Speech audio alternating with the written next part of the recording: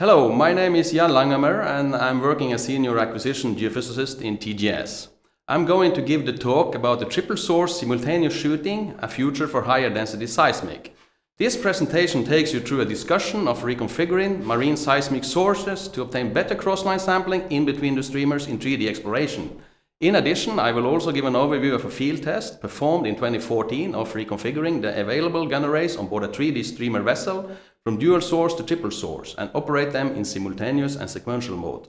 But before I start my presentation, I'd like to acknowledge my colleagues Pete Bennion, Adriana Thames and Sayun Liu for great contribution to this work. So the outline of the talk, first I will give an introduction about the dual source and triple source, then the acquisition parameters and source details from the test. Thereafter describe a bit about the test sequences performed, data examples and results, and then the conclusion. The standard in marine 3D seismic exploration is to use a dual source setup and fire them off in sequential mode, what we call flip-flop mode. Simultaneous firing of the sources has been introduced in various streamer and ocean bottom applications, mainly for increase of efficiency and sampling. With exploration in more challenging areas and that the hydrocarbons are harder to find these days, there is a need for better sampling, especially in the crossline direction. So instead of using streamers with more sensors for wavefield reconstruction to improve sampling between the streamers, why can't we look into more the source side and split up the available source arrays into a triple source configuration? This will in inherently reduce the crossline bin size. This concept was tested out in the 1980s, but without a commercial success. However, in 2016 we have low noise streamers, longer streamers, dynamic range of sensors is significantly increased, we have continuous recording and deblending of techniques available in processing to separate data records. In seismic exploration, there has always been a trade-off between efficiency, which means size of streamer spread at one hand, and the requirement for dense enough sampling at the other hand. So at different streamer spacing, if we have two sources, we will have a crossline bin size given by the blue curve, and if we have a three source configuration, we will have a bin size given by the orange curve. And if you have even five sources, then crossline bin size will be even smaller and reduced, given by the gray curve. So better spatial sampling, meaning smaller bin size, will give better focusing and imaging of complex structures, both shallow and deeper in the sediments.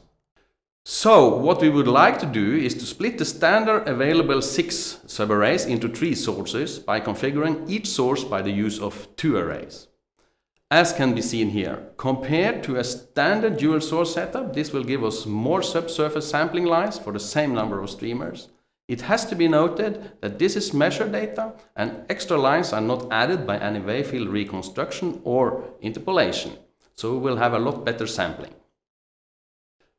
The main aim of this field test was to explore how easy it was uh, to reconfigure the available six subarrays on board a 3D vessel into three sources using two subarrays per source.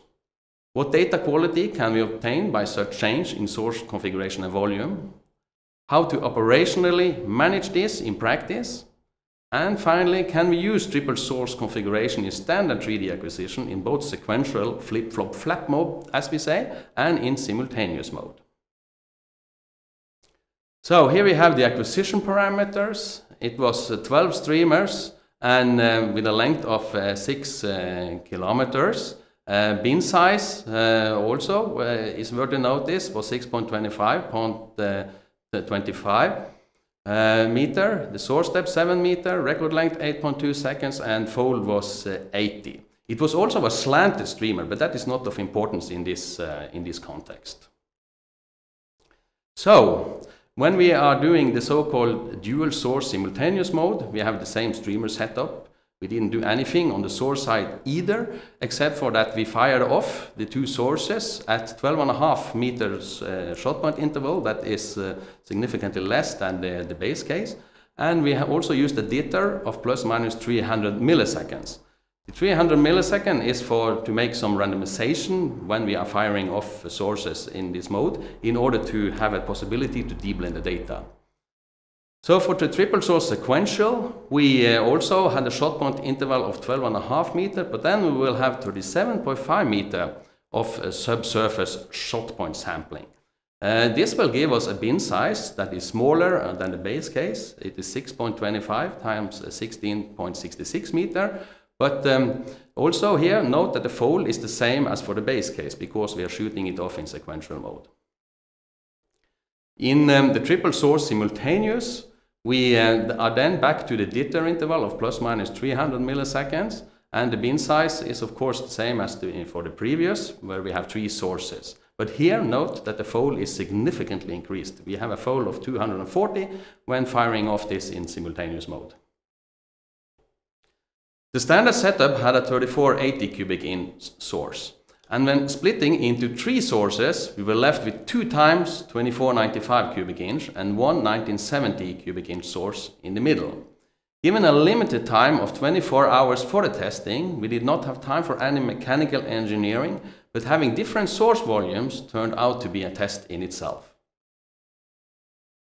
The signatures and spectra plotted in the same window shows in blue the 3480 cubic inch and in red the 2495 and 1970 cubic inch sources. The differences are mostly on the strength of the primary peaks, but nevertheless the parameters of the two smaller sources appear to be quite good, especially when it comes to the primary to bubble ratio, as can be seen in this table. We also checked the directionality of the sources and they appeared to be quite similar and for a narrow azimuth survey like this, it is of minor importance. As said, we had 24 hours to perform this test, including the reconfiguration and shooting, so only one sail line per test were acquired.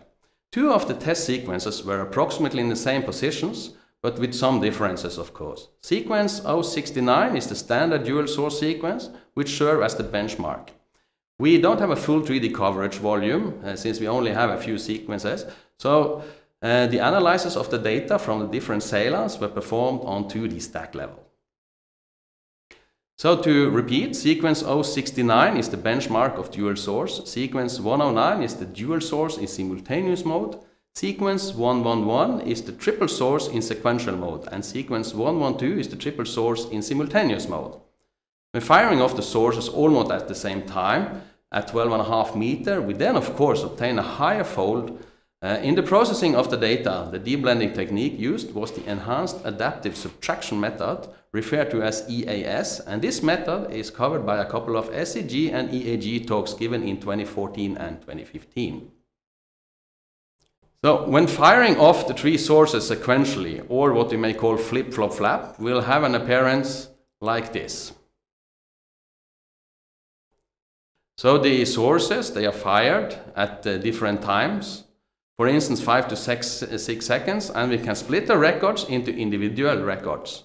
When knowing the exact firing time of the shot, points, which can be found on the SEGD headers. So no deblending is needed when data is acquired in sequential firing mode. In simultaneous firing of the three sources, they are separated in time within a jitter interval of plus minus 300 milliseconds. This interval can of course be changed after what will be required and um, then we will see the appearance like this.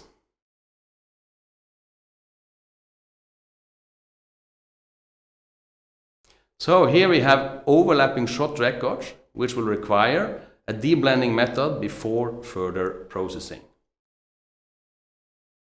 Moving to some data examples. Here we have a record from the standard dual source sequence 069, which is the benchmark. The arrows mark the direct arrival and the seafloor reflection at the specific channels for some shots, given here by the blue arrows. The next example record from sequence 112 shows the case where we have triple source in simultaneous mode. And here we have quite a difference. The arrows mark the direct arrival and the seafloor reflection at these specific channels for some shots. And note that there will be three direct arrivals and three seafloor reflections coming in within a short time interval. This is a data example uh, from sequence 109, dual source in simultaneous mode, when data are sorted into common offset domain, which means same channel for several shots.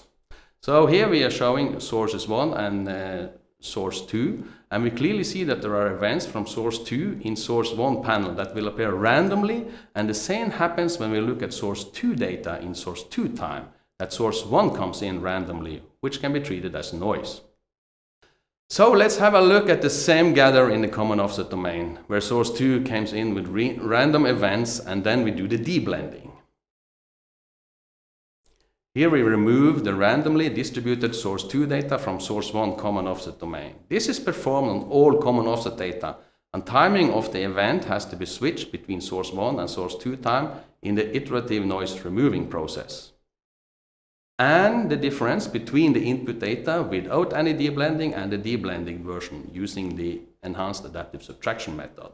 We observe that the removed events are the source events that can be treated as noise in source 1 time common offset gather, and there is no uh, primaries leaking through in this gather. Let's have a look at the benchmark sequence 069, the dual source, NMO corrected CDP, common depth point gather panels. They look pretty clean and good, and of course we observe a lot of multiples in these gathers. Then we compare the previous with NMO corrected CDP gathers from sequence 109 dual source in simultaneous mode. When not deblended, we observe that there are a lot of source 2 noise in source 1 gather panels and source 1 noise in source 2 panels. However, after deblending, it looks a lot better when it comes to noise in the data. The source 2 random events are removed from source 1 data gathers and source 1 random events are removed from source 2 data gathers. and the difference between the input raw and the deblended gathers from sequence 109. Only noise events are removed and no primary events of significance are observed, which is good. Again, back to sequence um, of uh, 069 dual source, which is the benchmark, and now preparing to compare with triple source CDP gathers. That's why we have three panels now. And here we have the equivalent triple source simultaneous data CDP gathers from sequence 112. Also here we note that the noise in the data panels from the other sources events. Events from source 2 and 3 are observed as noise in source 1 gathers events, and source 1 and 3 are seen as noise in source 2 gathers. And finally, source 1 and 2 events appear as noise in source 3 gathers. In order to sum up what we have seen so far in the gathers, uh, the aliasing in the CDP domain is reduced when firing the sources more often, and the multiples appear more continuous due to reduced trace spacing in the CDP domain. The deblending has taken care of the random events that can be treated as noise. Moving on to the stacks and comparing the dual source sequential with dual source simultaneous firing, because of higher fold and that the deblending itself is a noise reduction process, we see that the signal to noise ratio is higher on stack section from simultaneous acquired data, here shown to the right. The triple source, when fired in sequential mode, should be of the same quality and signal to noise ratio should be approximately the same, since shot point interval is equal for the subsurface sampling lines. This is observed when scaling for differences in source strength. However, since we only have one sail line, we can only do a 2D comparison, and it has to be noted that the main uplift for doing the triple source configuration will be in better cross-line sampling, which will be in 3D. And the last stack example, uh, here we have the sections comparing stacks from dual source sequential with triple source simultaneous firing. After deblending of the triple source data, we obtain a better signal-to-noise ratio, given mostly by the higher fold, in addition to the inherent noise reduction factor in the deblending process. So, in conclusion, we can say that there has been a successful reconfiguration and operation of a triple source setup in both sequential and simultaneous source firing mode. Higher flow, less aliasing, and improved crossline sampling of a triple source in simultaneous mode versus standard dual source uh, given the same streamer spacing. Deblending method performs very good on data when using two and three sources in simultaneous mode. Triple source in both sequential and simultaneous mode is an option when higher sampling is required. Why stop at three sources? We could do with more. So with this, I conclude my talk and thank you very much for your attention and for listening to this e-lecture.